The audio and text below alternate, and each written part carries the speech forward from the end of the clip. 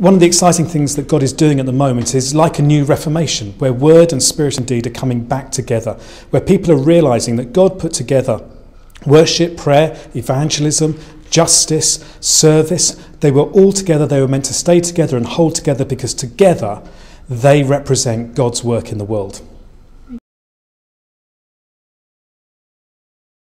I think that's the challenge for us, isn't it?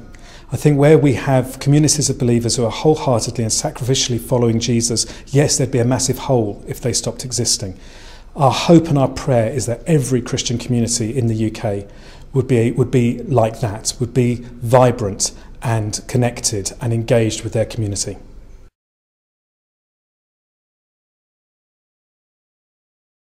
Well, I think there's lots of people who know that God is speaking to them about whole life discipleship and wholehearted mission. they're committed, but they're confused about what to do. So we hope that through this course, as well as uh, being inspired by the Bible and being inspired by stories, also people will be equipped to begin to put these things into practice, taking small steps in their own lives, in their own church life, to begin to live out God's mission.